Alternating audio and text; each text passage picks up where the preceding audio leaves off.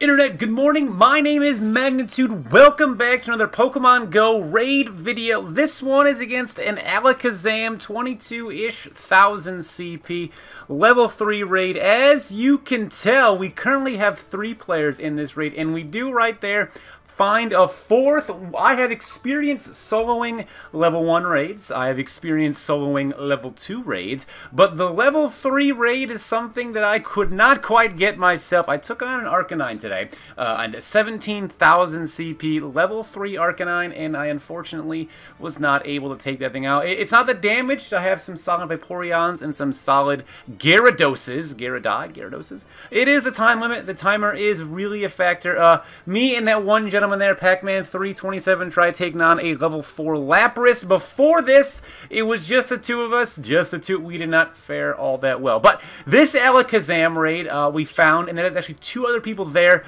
who were doing it, and they actually lost the raid, of just the two of them. Uh, I just not quite sure how that happened because they should have had the Monzu. But we, the four of us, are taking on this 22,646 Alakazam. Now, I uh, don't have an Alakazam. Going into this raid, I did not have an Alakazam. So this was super important for me to get an Alakazam. And I know that I would like a strong Psychic type uh, Pokemon for those goddamn Machops or Machamps everyone keeps making to beat Blissey. It's a real problem in gyms. So I one an Alakazam. And also Alakazam gets Focus Blast, which is fantastic for those Blisseys as well. So, you know, Blissey's a real problem. But, uh, so you can see, I have a Gyarados. Going now with Dragonite, I have uh, Hurricane on Dragonite, which I'm a huge fan of. That stab is great. It is a 93% Dragonite.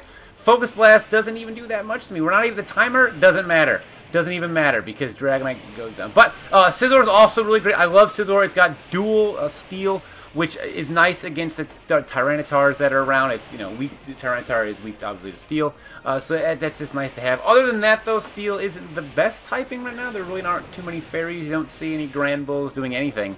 Uh, so Scizor, it's it's tough to make use of him, but uh, Vaporeon, of course, been good since day one. Always going to stay good. We got the Gyarados back there, the Arcanine back there, and some other fourth Pokemon. We are doing very nice. That dodge was fantastic. Doing very nice against Alakazam. And, you know, the timer, the, the real problem with trying to solo level 3 is the timer. Uh, I can take on certain level 3s, like I said, like uh, Arcanine. Uh, if it wasn't for that timer, I'd be able to easily solo those, but I can't! Because the timer exists, and you gotta always consider the timer. So, we do end up taking out Alakazam, which is fantastic. The four of us had little problems. I lost a couple Pokemon on the way, but we had little difficulty. Alakazam, of course, is strong, getting 20 revives, a fast TM, which you can win from that. That changes uh, your Pokemon's uh, fast move, so their initial click, to another random move they get. So unfortunately, you cannot choose uh, the move it changes to. You can get uh, both, both TMs, fast TMs, and uh, you know charge TMs.